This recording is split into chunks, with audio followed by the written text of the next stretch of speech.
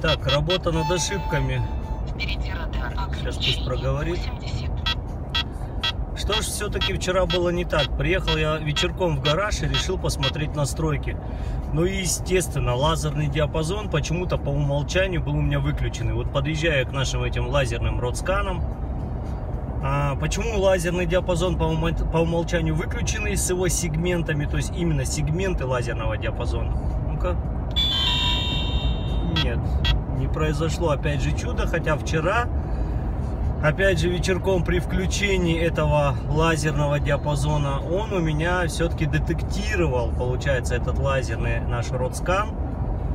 В один момент проехал я вчера два некогда было вечером но в итоге все-таки на один он сработал. Сейчас вот опять проехали промолчал не сработал.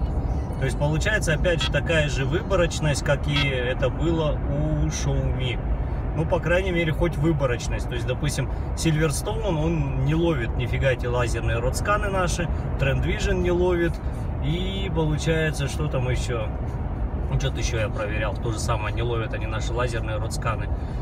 А из плюсов этого детектора Утром, как только завел машину, моментальное сразу отдупление по спутникам. Но я скажу так, что у меня даже эскорт дольше соединяется, чем соединился он.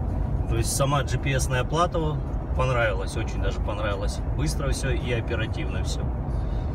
Что еще, что еще? Как детектор я уже говорил, что никаких чудес там он там не произвел на меня. То есть ну, обыкновенный средний детектор. Пока не скажу наверняка, пока не откатаю его на реальные радары. То есть пока все-таки так хаотичное движение по городу. Что я подправил? Подправил я пороги по скорости, то есть где чуйка минимальная у меня была на 30, я поднял до 40, то есть чтобы было поменьше этих левых помех.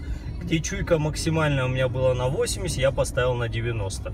И вот в этом автоматическом режиме я езжу, потому что если ездить в трассе, мне так кажется, этих помех будет больше. Что еще? Убрал я нарастание Гейгера, как бы, ну, псевдо-Гейгера, наверное, скажем так а, которая идет по GPS именно, то есть при превышении скорости. А, то, что идет в настройках радара, именно само нарастание, вот это, так сказать, которое идет не по базе, а по скорости я его оставил, естественно, то есть если где-то я превышаю, то есть чтобы он мне сказал, что я превышаю, а вот именно по базе я его убрал. Что еще, что еще подправил? Да вроде как и все, вот. Ну и пока катаемся, то есть не до конца я еще разобрался в этих настройках, то есть периодически ковыряю я их. Хочется немножко мне поднять функцию, вернее, поднятия и опускания чувствительности. То есть немножко все-таки сделать его потише в городе. Ну, пока не знаю.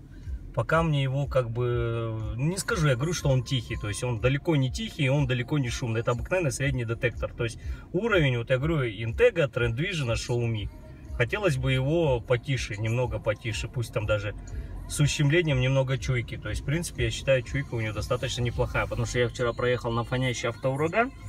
Ну, меня это устроило. По дальности и нарастание у него хорошее. То есть, надо теперь найти мне треногу Крис П. И надо его попробовать все-таки покатать на визир и бинар. Посмотреть, как он отработает. Ну, вот как-то так. На этом все.